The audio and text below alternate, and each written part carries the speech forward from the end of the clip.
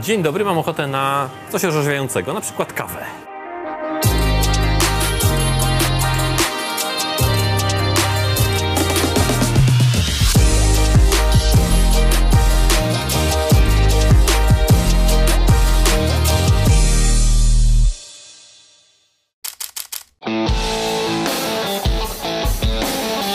Czy podróżowanie pick-upem może być przyjemne?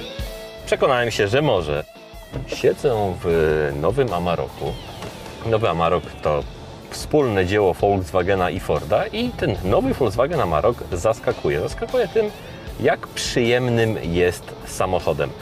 Nieco urósł, jest dłuższy, szerszy, wyższy.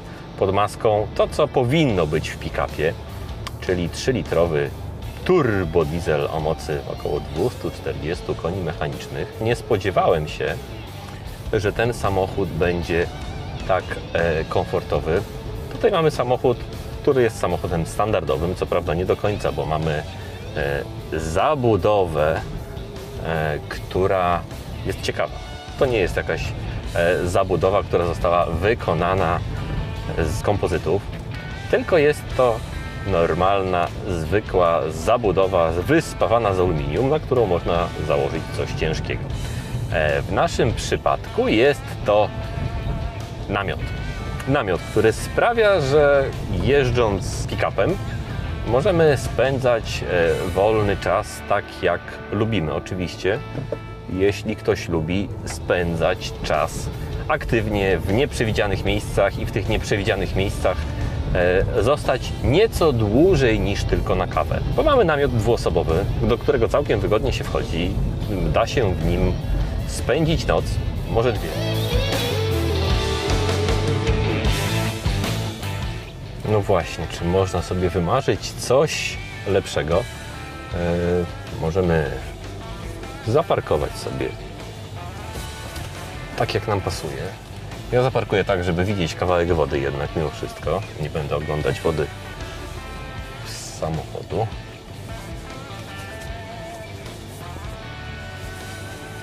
I cóż, czas na biwak. I dojechałem na miejsce. Przyznacie, że Amarok wygląda całkiem przyzwoicie. Nowy Amarok. Co prawda, jak się przyjrzymy z boku, to on przypomina nam nieco Forda Rangera. No ale nie ukrywajmy, jest to Ford Ranger z innym przodem. Taka jest teraz polityka koncernów samochodowych, żeby optymalizować koszty produkcji. Ale nie to jest najważniejsze w tym samochodzie. O tym, jak on jeździ, co jest pod maską, opowiadałem Wam już podczas jazdy. W tym samochodzie najważniejsze jest to, co mamy na dachu, a właściwie to, co mamy na pace, bo nie ukrywam, że nie przepadam za pick-upami, bo według mnie to są samochody, które mają duży bagażnik, ale tego bagażnika nie mają, nie możemy z niego korzystać. E, tutaj mamy genialną zabudowę. Ta zabudowa jest naprawdę genialna e, z kilku powodów. E, po pierwsze, każdą ściankę możemy otworzyć. E, to jest naprawdę mega wygodne i praktyczne. Nie jest to zaskoczeniem, że otwiera się tylna. Zaskoczeniem może być to, że otwierają się również boczne i te boczne e, zdradzają nam drugą naturę tego samochodu. Po pierwsze, e, możemy otworzyć kiosk z lodami, jeśli wstawimy tutaj zamrażarkę, e, ale nie o to chodzi. Mamy okienka. Te okienka przydadzą nam się wtedy, kiedy jedziemy ze zwierzętami zwierzęta siedzą w środku, mają wentylację, nie będzie im za gorąco. Można zamknąć się od zewnątrz.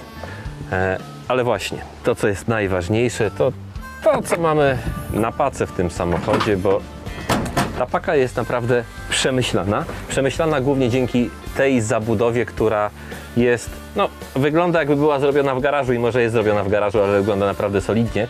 Ale jeśli ktoś buduje sobie terenową przeprawówkę kampera, no to tutaj od biedy, jeśli tylko jest mało wymagający, no to może jakąś skromną kuchenkę przygotować i ta skromna kuchenka wystarczy nam na dzień, dwa, trzy, a może nawet na tygodniową podróż. No dobra, tutaj mamy kuchnię, a co z sypialnią? I tu będzie niespodzianka.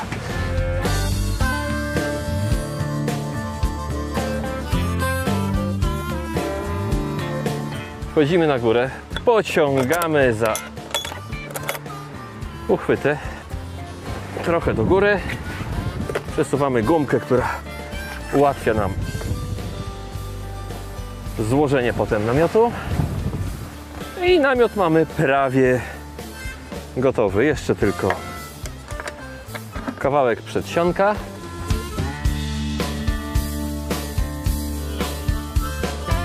Jeśli ktoś lubi takie klimaty, to może mieć to naprawdę sens, bo nie ogranicza nas nic. Samochód dojedzie wszędzie i raczej wyjedzie z każdego miejsca. Yy, Bagażnik zbytnio nie ogranicza nam możliwości podróżowania w terenie. Naprawdę może mieć to sens.